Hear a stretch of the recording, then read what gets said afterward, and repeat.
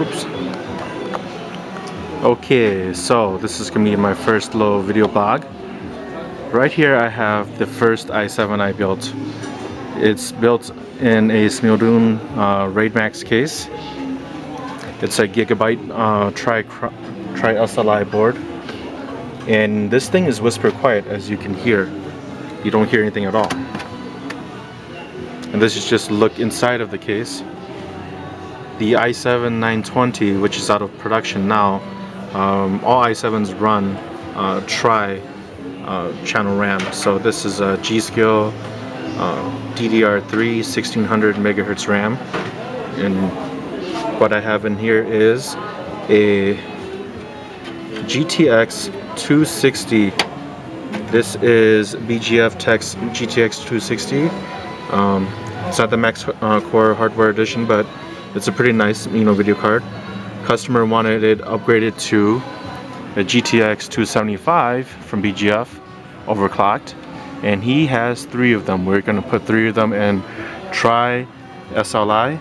This gigabyte uh, board is capable of uh, running it 16x, 16x, or 16x, 8x, 8x. Right now, um, I have 3D Mark Vantage on there to benchmark the uh, GTX 260 card and uh, we'll show the results to the customer to see um, the results of uh, the performance gain um, with the three SLI uh, GTX 275 cards and with the uh, i7 920 um, overclocked to about 3.6 gigahertz.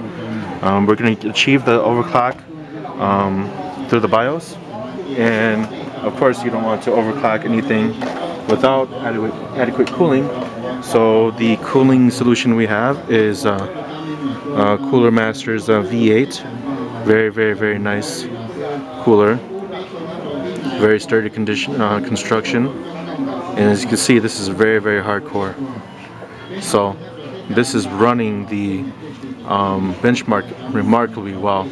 Uh, the AMD system I have does not even come anywhere close up to what this is uh, benchmarking as right now.